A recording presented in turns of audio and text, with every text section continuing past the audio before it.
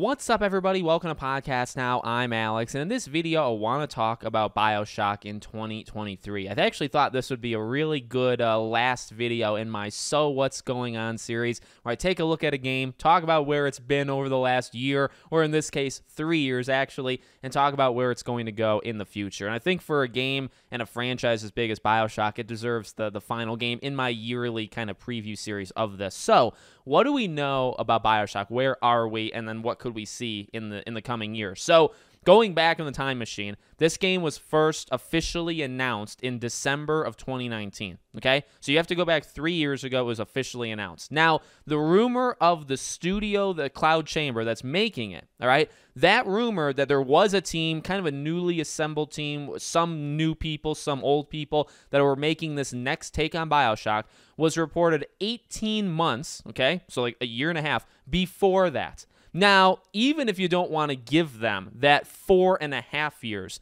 can we give them four? Can we give them around four years that they have been making the game? And the reason I spend maybe so much time on it is really this is the only thing to talk about regarding this game. There's been leaks about like a more branching path kind of thing that maybe, and there's like quests. The open world is going to have different like quest givers. It it sounds like it's going to be a very different kind of Bioshock game, right? May work, may not work. But really, outside of leaks and rumors, which could be true, could not be true, the only thing we have is when it was officially announced again back in December of 2019. So even if you want to give them back then, now I would give them actually an extra like year before that because you're not announcing that you're making a BioShock game the day you start making the BioShock game, right? You've been making it for a while, then you make an official announcement on it. So it's been 3 years. Could we see it in 2023? I think yes. My bold prediction for the Game Awards 2022 was that we would see BioShock. And I really thought that we were going to. Now, Geoff Keighley had talked about how, you know, there was, I don't know if he said like one game or multiple games, but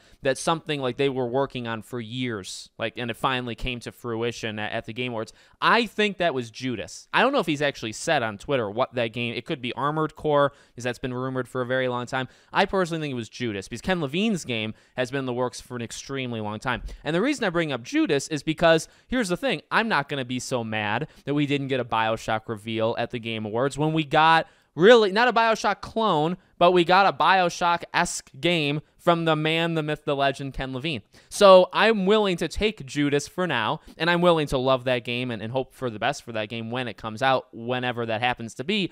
But I still want my Bioshock. And again, granted, it could be good, it could be bad. It doesn't have Ken Levine on it. So, like, what do you lose there? I'm sure people have various opinions on Ken Levine and kind of the arc that he took uh, the franchise in. But, you know, how's it going to go?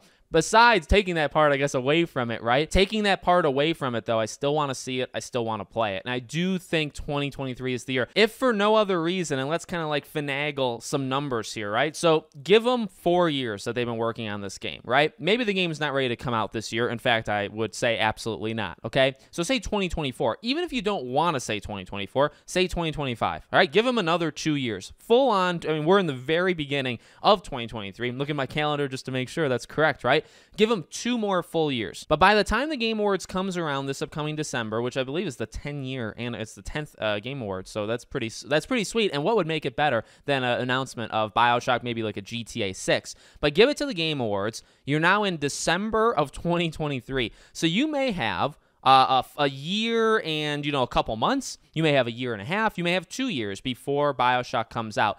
But I mean, in the world that we're living in, and the way that Geoff Keighley seems to operate, and the way that the game developers and publishers that work with Geoff Keighley seem to operate, they have no problem showing off games years before they actually come out. Can we talk about Wonder Woman? Can we talk about uh, Mass Effect? Can we talk about Dragon Age? EA likes to do it, right? So, I mean, I really think you have enough there to, to build up. And the fact, by the way, that you announced Bioshock without showing anything, granted, but you announce it in December of 2019 and then the game comes out well let's say let's say the fall of 2025 so the game comes out six years later. That further adds to the argument that you just should not be doing that right? I know it was rumored for a long time. It's possible that, that they announced the bioshock game just because there were rumors for over a year that it was happening and they just wanted to shut people up which granted it probably worked right? But you know, I really don't think that's the way to go. Announcing your game and then six years later the game releases, not not great. But I mean, it's a different era, I guess, different time period now than it, than it was back in 2019.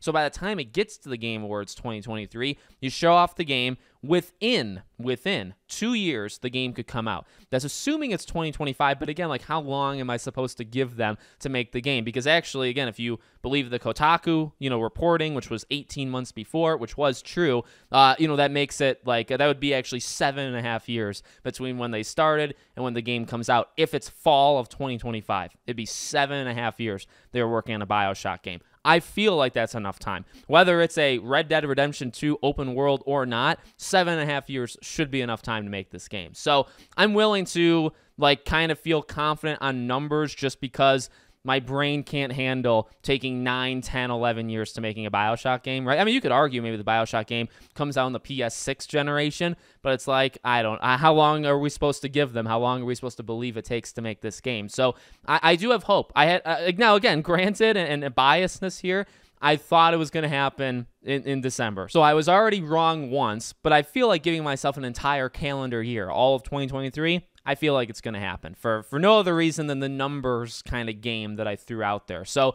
let me know what you guys think in the comments. Do you think this is the year that we see a BioShock announcement? And again, by announcement, I just mean a trailer. Just show us a trailer, show us the logo, the name, and then you don't have to give a year. I think we would assume it was it's within a area window, right? It's within one to two years away. Just do that. I think that would be more than fine. So let me know if you think that'll happen. Make sure you guys are subscribed, bell icon turned on, and I hope to see you all on the next one.